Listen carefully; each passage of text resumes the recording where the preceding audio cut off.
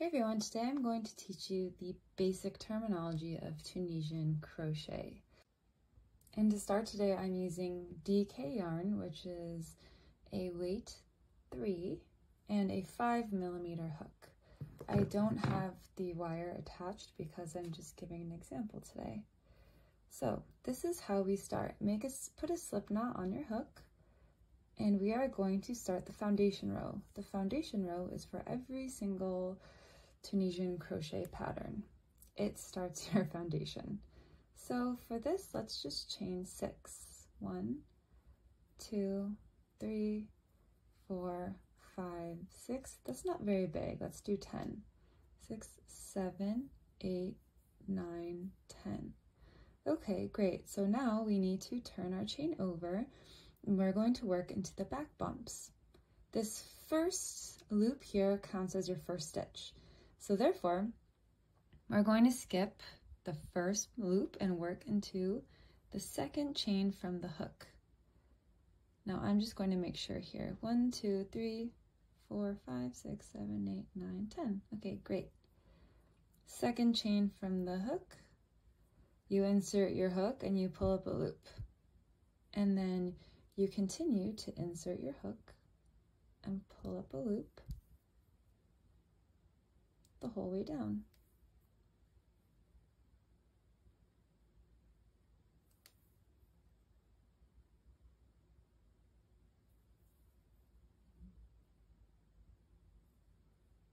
Mm -hmm. There we go. I went a little backwards.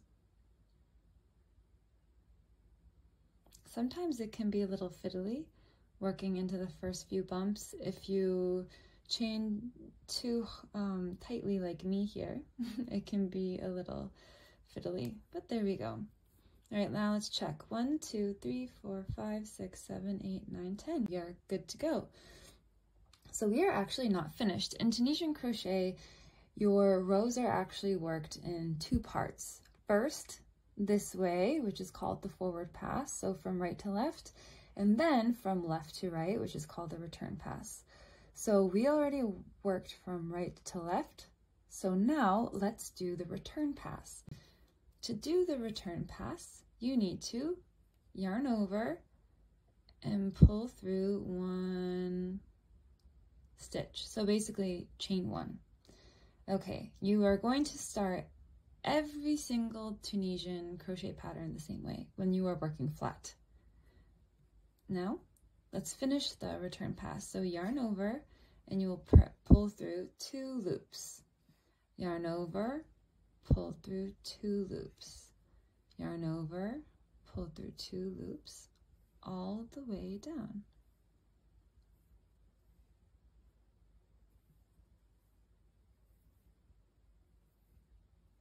Fantastic. Now let's work a few basic stitches. So first let's start with the Tunisian simple stitch. Here is our first stitch, right? Our first loop on our hook, it counts as a stitch. So the Tunisian simple stitch just works into the front loop, or the front bar here. So insert your hook, yarn over, pull up a loop in the front bar. Let's do it again. Insert your hook, yarn over, pull up a loop. So let's do that all the way down.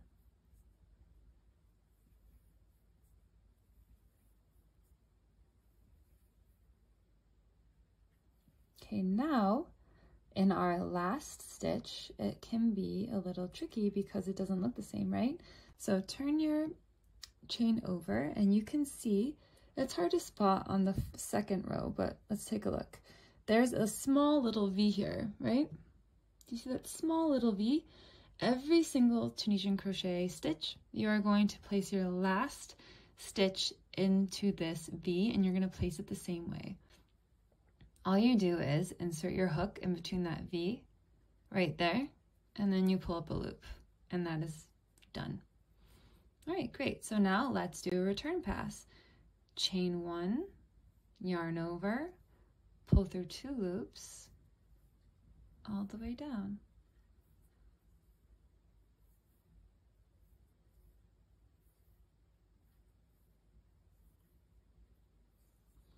Great. So now let's do one more row of Tunisian simple stitch and then my yarn's going crazy. I need to get my yarn bowl. And then we can talk about the Tunisian knit stitch. Okay, so again, we will very simply, like the namesake, insert our hook into the front bar and go all the way down.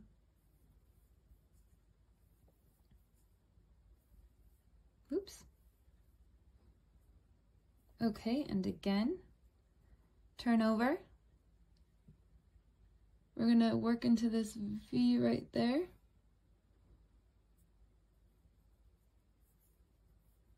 Okay, great. Now we are finished here.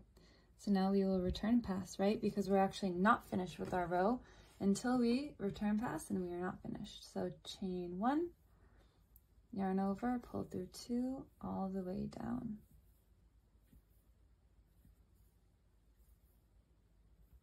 It's very relaxing.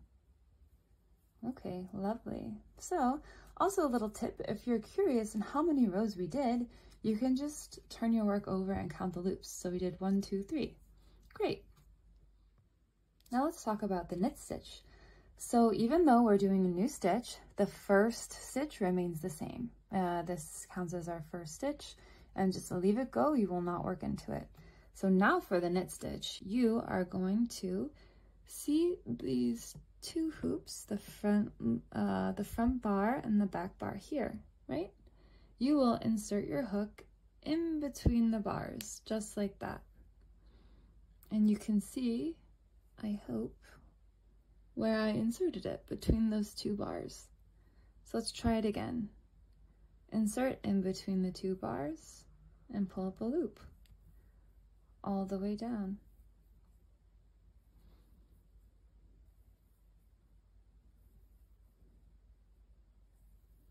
Great, and now let's turn. Place your last stitch in the same exact way by just inserting your hook and pulling up a loop. Now, let's do the return pass in the same manner. Chain one, good. Now yarn over, pull through two, yarn over, pull through two, all the way down.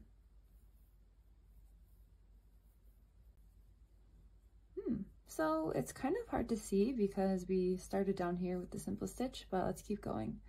So insert our hook in between the two bars. Feel free to pause this at any time if you need um, to practice.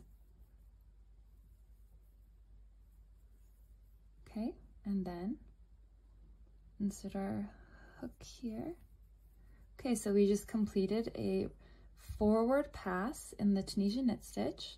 Now let's do our return pass. Yarn over, pull through one, so chain one, yarn over, pull through two, all the way down.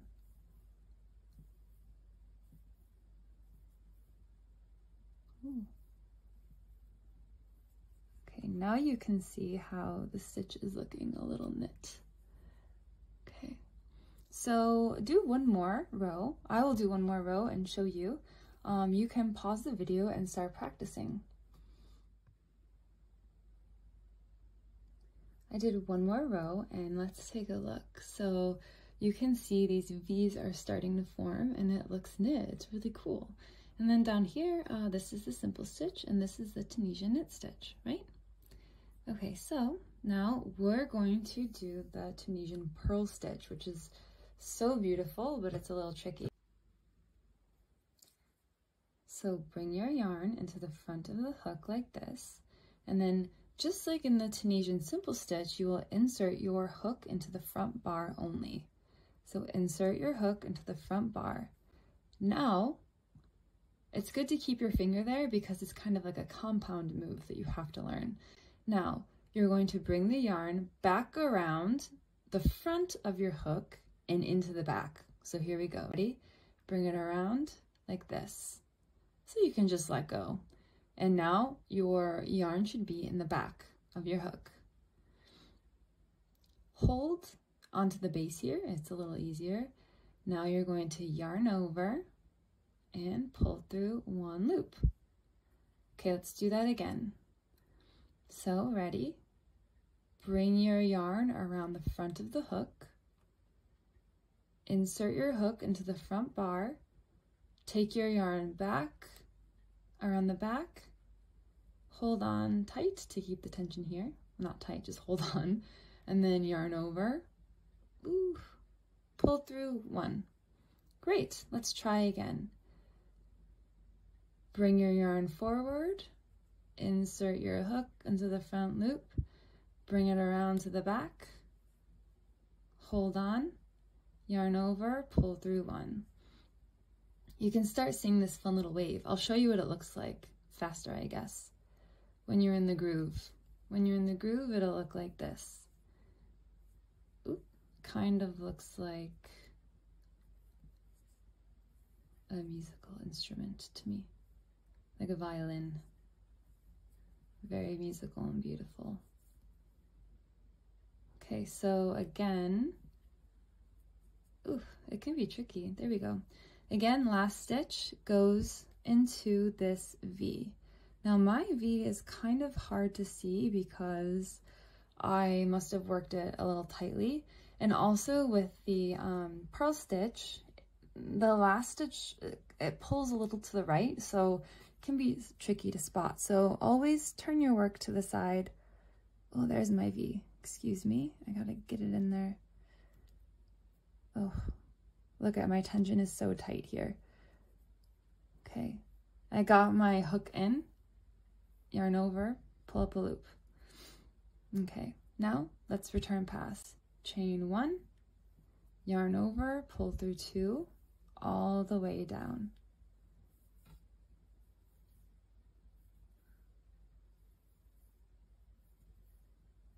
Okay, great. Now, actually, I only did one more row of the purl stitch, but I want to show you how it looks when you've completed a row of purl stitch. So let's bring our hook around and insert your hook into that front bar like that and pull it through, okay? Bring your yarn around to the front of your hook now, when you're doing purl stitch, it can be like your actual bar can maybe uh, pull because of tension and get smaller. So it can be hard to see, but try to keep your tension loose. Okay, so bring your hook around, pull through. So see how I have to kind of force my hook in there? that's okay if that's happening to you. Okay, so I'm gonna meet you back when I come to the end and we will talk about the bind off. Okay, so here we are in our last row technically, and we have to work a bind off. So a bind off is just a row of regular crochet stitches that fills in the gaps, this hole right there. So if you are working on a pattern and it's for the simple stitch, you would work a single crochet, slip stitch, double crochet, whatever the pattern calls for, stitch into the first uh, bar, the front bar here, because it's the simple stitch. If you're working on a knit stitch, you would work a single crochet, slip stitch, whatever, in between the front and back bar like you would a knit stitch. Oh dear. But since we are on a purl stitch here, let's see what it looks like on the purl stitch. Uh, when we purl stitch, we work into the front bar. So let's bind off with a single crochet. So insert your hook into the front bar, yarn over, pull up a loop on your hook, yarn over, pull through two loops. That's your single crochet. Let's do it again. Um, here's our next one. Insert your hook into the front bar, yarn over, pull up a loop, yarn over, pull through two loops. So let's single crochet all the way down. And this is the bind off row. When you are finished with however many rows you need to work in your pattern for whatever you're making. Okay, and so just like all of the Tunisian crochet stitches, you are going to place a single crochet into that V at the end of the row. Great.